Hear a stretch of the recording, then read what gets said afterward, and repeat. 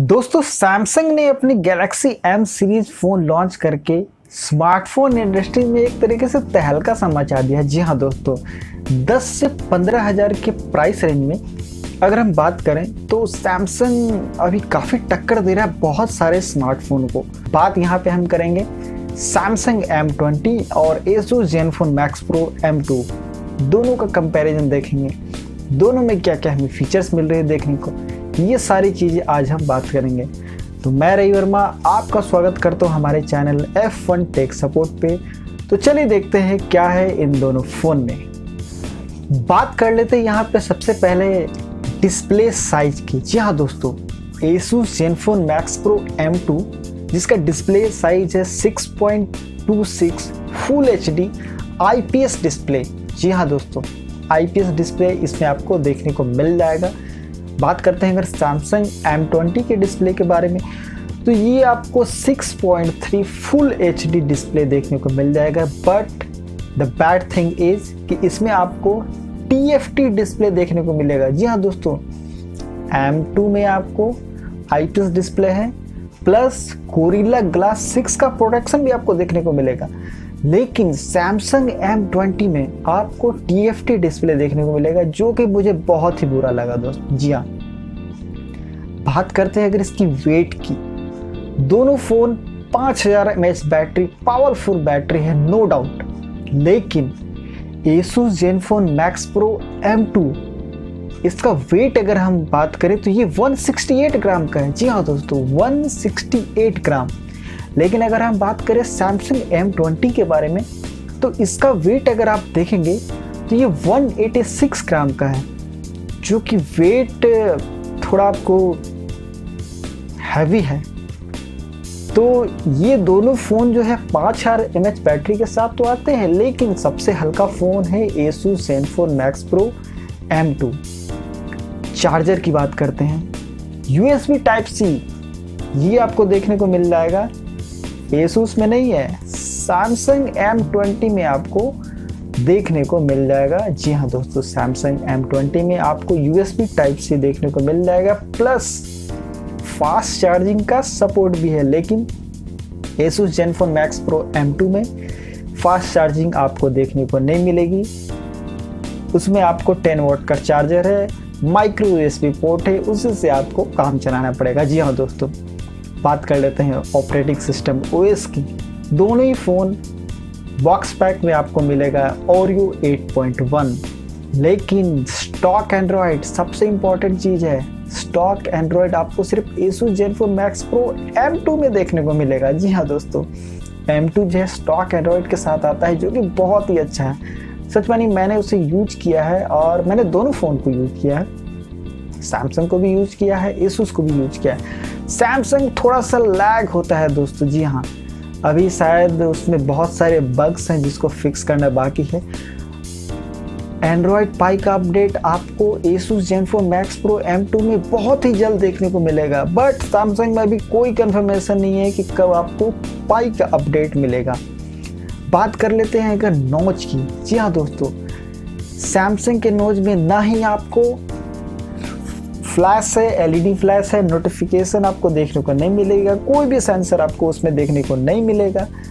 But Asus Zenfone Max Pro M2 में आपको ये सारी चीज़ अवेलेबल है। जी हाँ notification front facing light sensor सभी चीज़ें आपको देखने को मिल जाएगी Asus Zenfone Max Pro M2 में।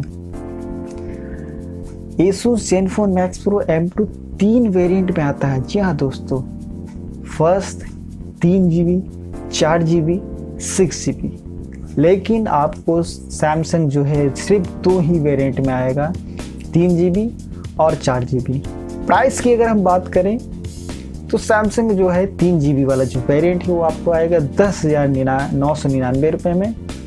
और इसका चार जी बी वाला जो वेरिएंट है, बारह हज़ार नौ सौ निन्यानवे रुपये में आएगा।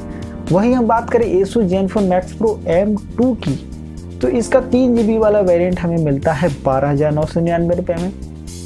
चार जी वाला वेरिएंट हमें मिलेगा तेरह हज़ार नौ सौ निन्यानवे रुपये में, जबकि छः जी वाला वेरिएंट हमें देखने को मिलेगा पंद्रह हज़ार नौ सौ निन्यानवे रुपये में। ये तो हो गई प्राइस की बात performance C P U Snapdragon six sixty A I processor Asus Zenfone Max Pro M2 में देखने को मिलेगा। पबजी खेलिए गेमिंग करिए, कुछ भी कीजिए, कोई दिक्कत नहीं होने वाली है दोस्तों।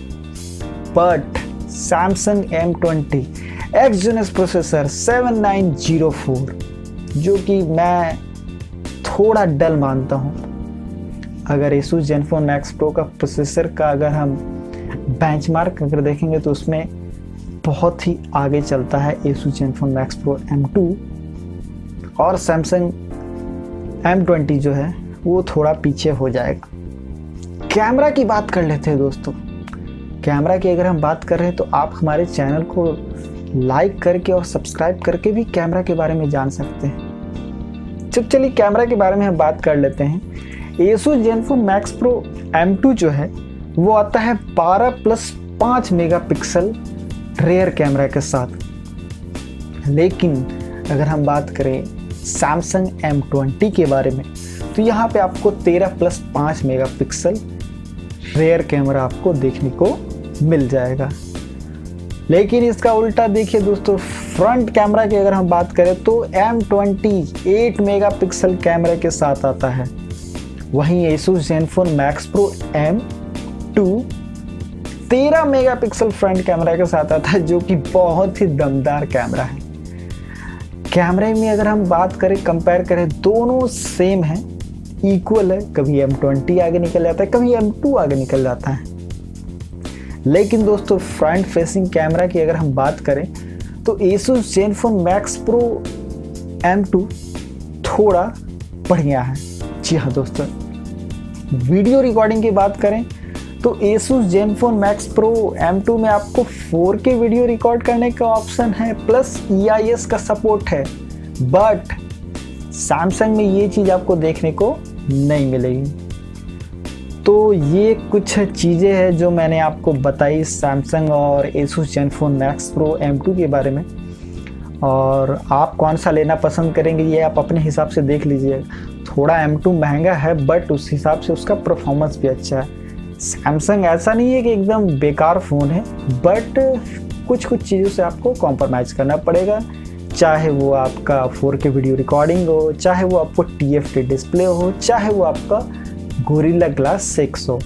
एम टू की अगर बात करें तो उसमें आपको फास्ट चार्जिंग देखने को नहीं मिलेगा। जी हाँ दोस्तों फास्ट चार्जिंग उसमें आपको देखने को नहीं मिलेगा। बट मेरी राय में अगर माने तो दोनों फ़ोन बेस्ट है। पसंद आपको करना है। तो मैं रवि वर्मा, फ़िलहाल आपसे इजाज़त चाहूँगा। अगर आप हमारे चैनल पर नए हैं तो हमारे चैनल को सब्सक्राइब करें, लाइक करें, कमेंट करें, शेयर करें और अपना ओपिनियन हमें कमेंट के द्वारा ज़रूर दें। तो तब तक के लिए जय हिंद, वंदे मातरम।